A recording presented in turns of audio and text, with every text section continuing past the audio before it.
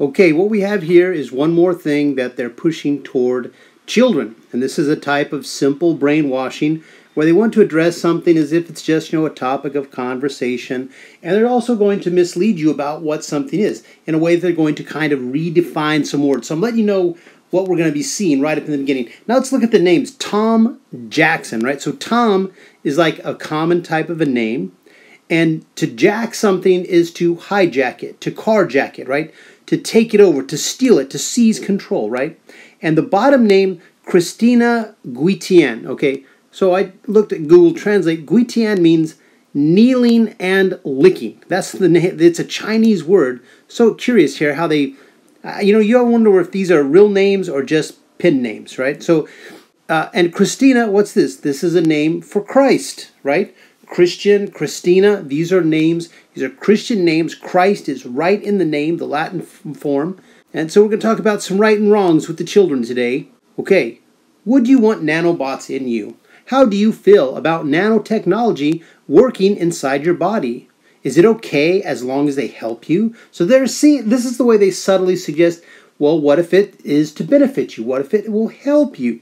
So that's going to be the purpose. This is how you simply lay an idea and you just let people naturally assume it. But if you just tell them that, then they might challenge it. They might say, well, maybe that's not the truth, and then they'll make a decision for themselves. But if you just casually mention it, this is psych. This is established psychology. Uh, as long as you just casually mention it, people will just go along with it. Yeah, okay, you know that's how it's going.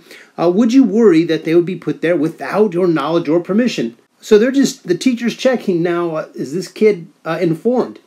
because they are putting it there without your knowledge or permission, and they've been doing it for decades. But look here in the upper left here. A nanotechnology called Gecko Tape uses nanotubes to copy this system. Gecko Tape shoes and gloves, or even a coating on the skin, might allow you to climb walls like a gecko or Spider Man. Take your pick. So there's this subtle suggestion of superhero powers associated with nanotechnology. And this is no mistake, and this is absolutely not the only place where they make such a suggestion. Okay? Now, there are other stuff on this page that's going to come up later. Imagine a machine so small it could be injected into your body. This is called nanotechnology. And skipping down to the bottom, it might sound like science fiction, but nanotechnology is already a real thing. That's true. Uh, we'll have to wait for nanobots, though. That is false. They already have nanobots. Nanobots are in people. They have hybridized, hybridized versions that are created between uh, nano things like uh, Hydra and also metal things. So the bottom of the statue in Daniel was clay mixed with iron, and that's what we're seeing here. And we're going to hear them talk about the iron a little bit more in this book. Again, this is all front loading. They're telling the kids this is what it is, no big deal. Nanotechnology is already used in some unlikely places. Sunscreen blocks out dangerous rays using nanoscale particles of zinc or titanium oxide. So bizarre. I, I didn't know that. But yesterday I was talking to a pastor and I said, you know, 30 years ago, Holy Spirit told me that they were putting it into deodorant and lipstick. And he said, well, what about men? You know, men don't wear all this makeup. Because I'd also talked about some recent examples where I've seen verified. Um, uh, base, for example, had all of this iron in it, which is a component of the nanotech systems that they're building inside people's bodies in vivo. So it's already used. And I said, he said, what about men? I said, well, there are other things been put on their skin. I said, like sunscreen. And then the very next day, boom, here comes this confirmation. Yeah, we've got it in sunscreen. So they're using nanoparticle, nanoscale particles of zinc or titanium oxide. Well, if you're just going to say nanotail is just an ion, so what? That's just a new word describing an old thing. But here they're telling you that's all nano stuff really is. Is just something, you know, some zinc, some uh, some titanium oxide, but that's not true. They're also putting the titanium dioxide into Skittles, into M and M's, into other types. Uh, um, coconut flakes, right? They say, oh, it makes the coconut flakes more white. It brings out the flavor of, of the fruit flavors in Skittles, right? The artificial flavors. They're they're deceiving you about what it really does. Okay, it it does the things they exactly said previously. Well, we don't have it yet. No, they do have it, and it's doing things that they're going to try to tell you that it's not. Scratch resistant glass is toughened with a layer of nanoscopic aluminum rich powders, which make a rock hard coating. The Romans used gold nanoparticles in their finest glassware. Of course, they didn't call themselves nanotechnicians, but that's what they're doing. So listen, uh, no, that's no mixing particles. This is a thing of like just filling in voids between uh, uh, slip lines so that you can't get cracks, can't get micro cracks, which then become cracks, which then became become failure planes in materials. Okay, so yes, I took materials engineering in college. That's a different thing. So this is not what nanotechnology is about. Nanotechnology is not nanoscience. That's what they're trying to make it sound like. This is a deception. Okay? They're being deceptive and they're intentionally misleading, or else they totally don't understand what they're talking about. But I think they full well do. A lot of nanotechnology will be used to form, uh, to use a form of pure carbon, carbon called graphene, which many people have found 99.9% of the contents of a specific vial of a particular thing that's been in the news everywhere lately, and many people are uh, believing in, and other people are not putting any trust in it. Uh, they found that it's filled with graphene, right? Graphene atoms are arranged in interconnecting hexagons that make a sheet just one atom thick. Graphene is super strong. It conducts electricity, meaning it can be used for a computer system. Uh, and it can be formed into tubes and balls. So it can form tertiary shapes, not just sheets, right? The future could be made from graphene, okay? So graphene is an amazing material, but not for insertion into biological beings. And yet the Holy Spirit has shown me, uh, I'm going to, I have a clip, I'm going to paste it over this when I do the editing. These doctors went and um, they said, look, you had the stuff from the vial. Let's do a scan of your hand. And they saw these nanotubes in the guy. They said, and the other two other doctors, they had not volunteered for this uh, experiment. And they said, well, let's look at our hands. And they also had these nanotubes in their hands, but just far less. You know, maybe 20% of, maybe, you know, even less, a sixth, a seventh, you know, a portion of what the other guy did. But they still had it in them because, as the Holy Spirit showed me 30 years ago, they've already been putting it into personal care products. All right? So it absorbs through the skin. Here, they're, here again, they're misleading. Well, you know, okay, they can bioprint the scaffolding for a heart, they can bioprint it, and then the cells will fill it in. This is something that uh, scientists, uh, the biologists studying regeneration have learned. So this is absolutely a true thing. You can bioprinting is an amazing thing. I'm all for it. Right? Printed food, I'm not for. Why? Because this gives the enemy of our souls an opportunity to control food production, which means they can then put as much nanotech into it as they want.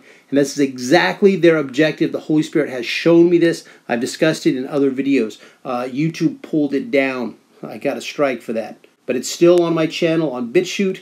It's still on Rumble, although even Rumble now is pulling them down. They're misleading people. Oh, it's just you know something. It's just simple. They they want you to think that the nanobots inside people are just another type of a coating on glass or putting gold inside an, another material to make a hybrid material, right? But that's not what it is. Now they get into the depth. Of, oh, gene therapy. So now if they let you know that it's a simple thing, been around for centuries, right? The gene editing tech that might be used for designer babies is already being developed to save lives. So we're going to make designer babies. That's what that's what they're just telling you. It's all cool. It's all good in the hood, right? That's what they're that's what they want the, our children to think. Human consciousness is created in the brain. This is actually not true, and science actually has uh, proven it. Consciousness is not in the brain. The soul is in the blood. It's in the body, just like uh, the Bible tells us. Right? We already know if you just reading the Bible and applying it to science, and then there was no persecution for doing that we would already have established this. The truth is that when a, decision is made, the brain actually reacts after the muscles, which shows that the decision originates somewhere else. So the mind is correlating different things, producing hormones, controlling and organizing hormones in feedback and positive and negative feedback loops, and it does a lot of different functions, but it's not the seat of consciousness. All right, this is a deception. Just like people used to think your strength was in your liver or something like this, and you kill your enemy and eat his liver and gain his strength. It's a superstition that the consciousness is in the brain. Efforts to repair the body, slowly aging or replacing our biology with cyborg machinery, are all efforts to maintain consciousness. A future technology called mind uploading might take all that might make all that unnecessary. We could transfer a consciousness to a computer. The theme of many, many movies. Where it could exist forever. Some say it's impossible. Others say we'll doing it. We'll be doing it before 2050. Who's correct? So they want you just to talk about it, like you know, okay, group discussion time. Break up into groups. You know, we're going to discuss it.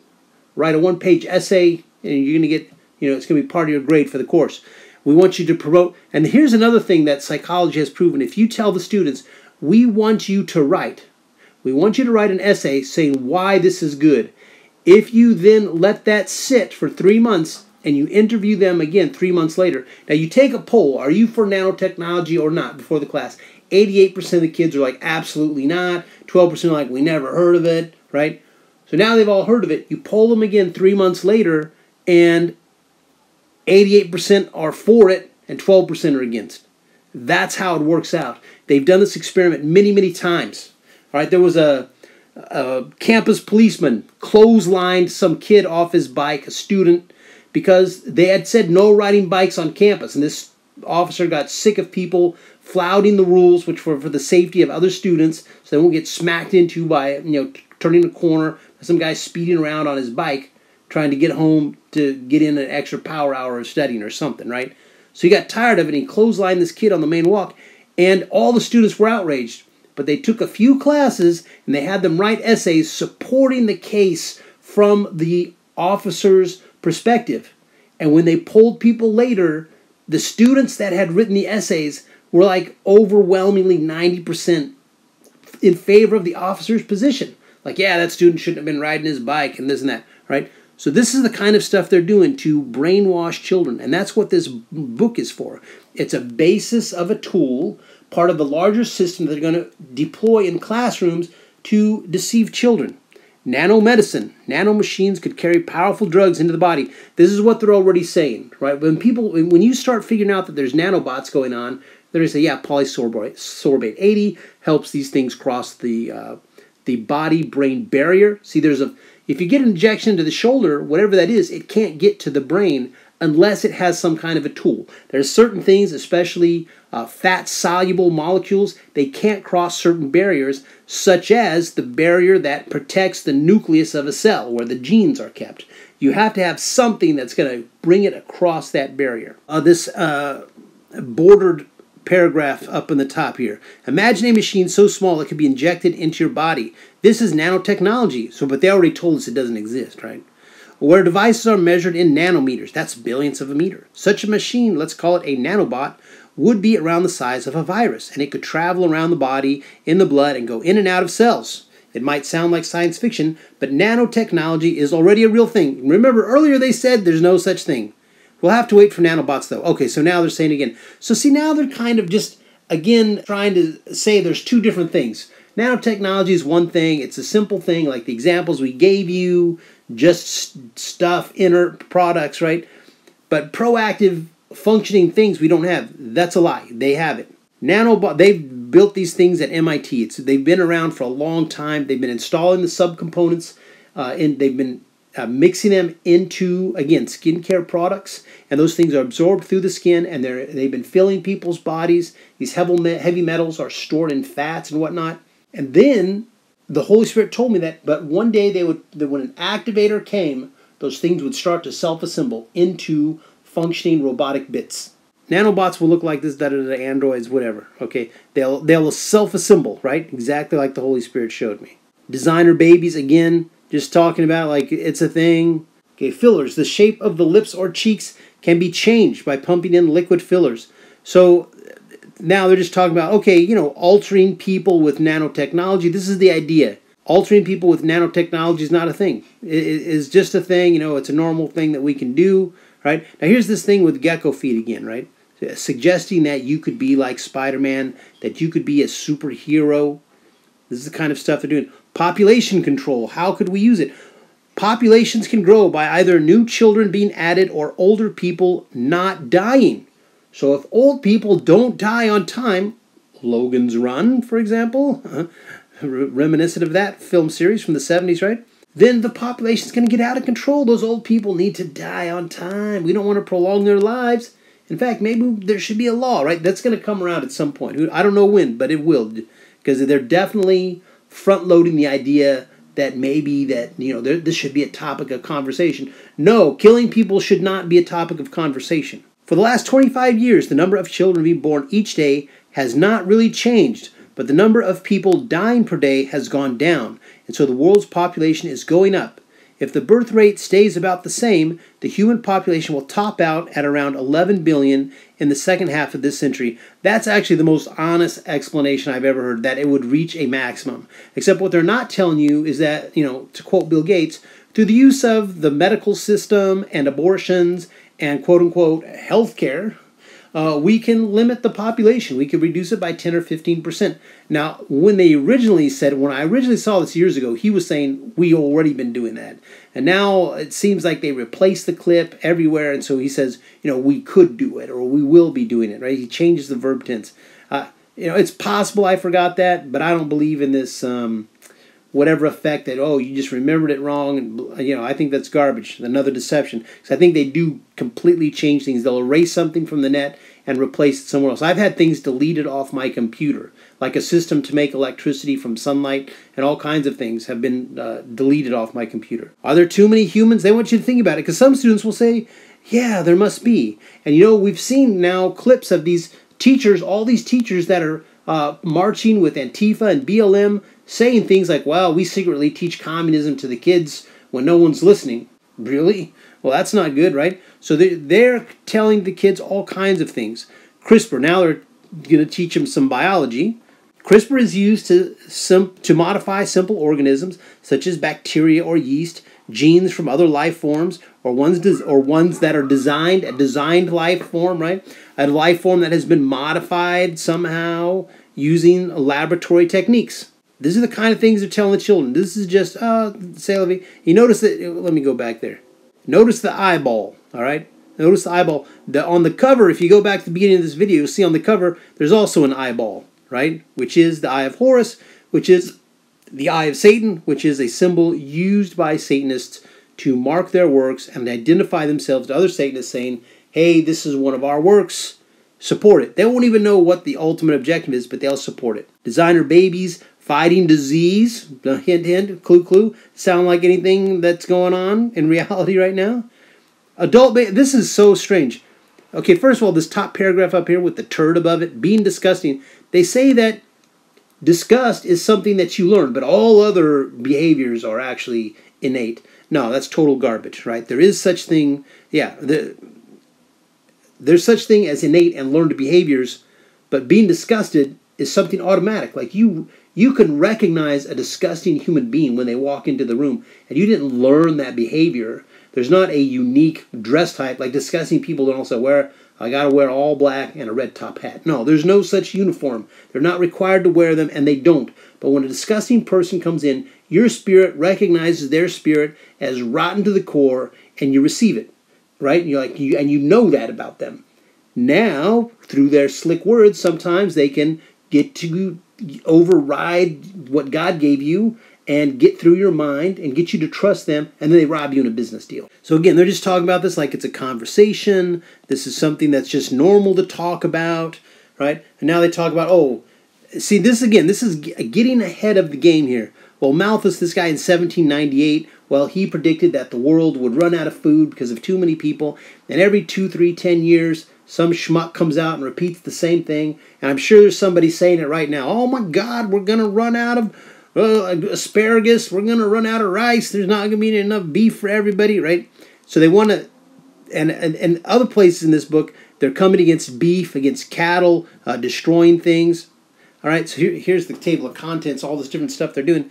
But listen, people, this is how they're trying to win this war is hearts and minds. All right, it's a psyop. This is a psychological a psychological operation to deceive our children, to deceive adults, and to make people think like, ah, this is just a thing. You could take it or leave it. You know, what if what if they're putting it into you and you didn't even know? Right? this is exactly what's going on. Cyborg enhancements.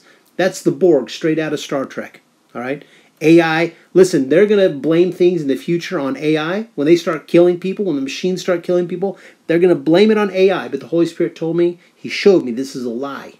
Really, it's going to be a small group of men in a remote location outside of any major city, somewhere in the foothills, hidden in the shadows. And they're going to be controlling those robots. But in the mainstream media, they're going to say, well, it's really just out of our control. The, the machines became aware. And go back to that thing where they say, oh, we could put a consciousness into a machine. So maybe some people think, well, maybe it was some consciousness got into there and got out of control, right? This movie they made from an Orson Scott Card book, it was the same kind of an idea where there's this, the machine became conscious and helps um, Ender to become the greatest field commander, right? So it's everywhere. The brainwashing is everywhere. And it's subtle, but when you are bombarded with the subtlety, they are they easily just railroad people's thoughts what they believe right down that broad road to hell and to accepting the beast system. And that's what they want you to do. So beware, people. With everything, the truth is you must pray. There's not a geographical location where you can run and hide. The Holy Spirit has been showing me this repeatedly, and He's telling me the safety is in the heart of Jesus. You need to stay close to Jesus, put your trust in Him, listen to what He's telling you. There are going to be so many lies that nobody will be able to research them all, but Jesus knows. So you need to put your trust in the Lord and keep praying. And remember, my friends, pray or be defeated.